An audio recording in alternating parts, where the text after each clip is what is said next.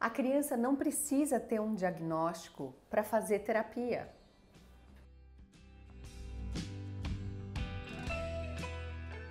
Muito comum, muito comum as crianças não receberem diagnóstico. É mais frequente uma criança que tem atrasos no desenvolvimento não receber diagnóstico do que receber. E aí isso dá uma falsa expectativa para os familiares de que se ela não tem diagnóstico, então ela não tem nada. Só que o diagnóstico ele ainda é muito difícil, porque nós não temos marcadores biológicos para autismo, para atrasos no desenvolvimento e para alguns transtornos do desenvolvimento, para a maioria deles, na verdade. A gente tem um conjunto de genes, um genótipo que não está identificado ainda. Um ou outro gene já foi relacionado, mas a gente não tem um marcador, um exame, alguma coisa específica que mostre o conjunto de genes, porque isso varia muito. E aí os pais então entendem que se o médico não fechou um diagnóstico, tá tudo bem. E esse tudo bem faz os pais não agirem e esperar. Mas a criança precisa fazer o tratamento baseado em comportamentos que ela pode apresentar alterados ou atrasados.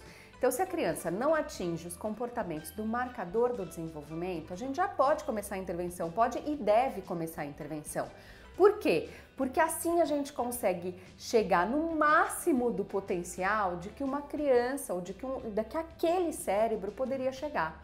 E o objetivo é florescer, florescer ao máximo o potencial de uma pessoa. Sempre, sempre com intervenção, com amor, com técnicas e ferramentas específicas para que essa criança consiga não acumular mais atrasos, para que ela consiga acompanhar o máximo possível a escola, conseguir verbalizar, conseguir discutir as questões que são pertinentes e importantes no ciclo, no ambiente que ela vive.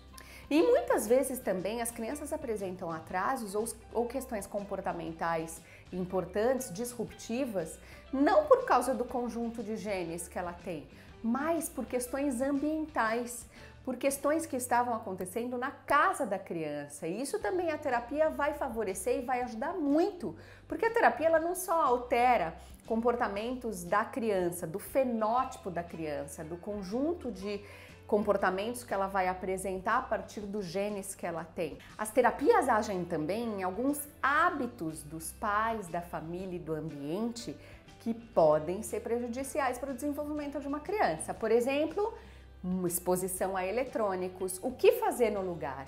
O que, que minha criança gosta? Que, como que eu posso substituir isso? Horas de sono. Como que eu posso ajudar meu filho a dormir melhor?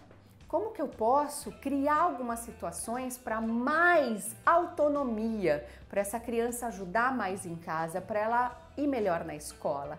Como é que eu posso criar situações para ela ser mais independente, para eu não ficar fazendo tudo para ela? Será que a gente está conseguindo olhar para essa criança e pensar no desenvolvimento dela da melhor maneira possível? E isso a terapia ajuda muito. Ter o diagnóstico não é o mais importante. O mais importante é a gente identificar comportamentos alterados e criar estratégias de intervenção para que a gente consiga melhorar e potencializar todas as habilidades que um ser vem nesse nasce com essas habilidades e a gente pode desenvolver o máximo e o melhor.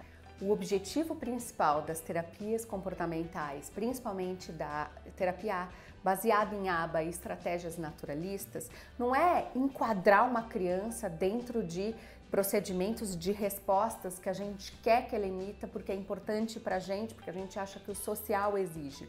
Não, é florescer essa criança no máximo do potencial do que ela tem de mais lindo para oferecer, do que ela veio fazer aqui e a gente usar estratégias e ferramentas para aumentar a atenção, para ela conseguir verbalizar, para ela conseguir se fazer entender e compreender melhor as outras pessoas e assim ela conseguir se desenvolver de uma maneira mais adequada no ambiente que a gente tem hoje em dia, que é um ambiente social que tem uma série de exigências e isso é um fato. Então, atenção para os marcadores do desenvolvimento. Se inscreve aqui no canal e olhe os vídeos anteriores, porque eu já falei algumas vezes sobre isso. Beijo para vocês e até o próximo vídeo. Tchau, tchau.